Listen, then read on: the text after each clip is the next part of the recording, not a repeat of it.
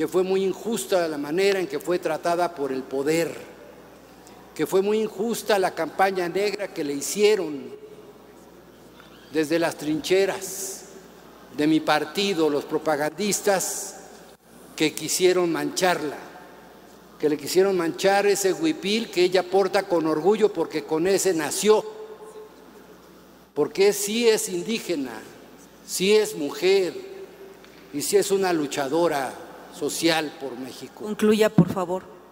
Por lo tanto, Xochitl, a pesar de estas diferencias, fuimos, estoy seguro, grandes colegas.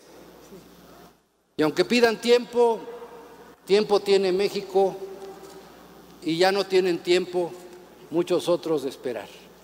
Lo que nos espera Concluya. es una gran lucha por nuestro país. Y me da mucho gusto que sean mujeres las que pongan en alto también aquí. Me refiero también a muchas de mis compañeras de Morena que han puesto muy en alto el nombre y la representación del Senado de la República. Así que éxito a ambas. Xochitl, fue un privilegio haber compartido escaño contigo. Y no me castigaron, me premiaron por estar contigo aquí. Gracias.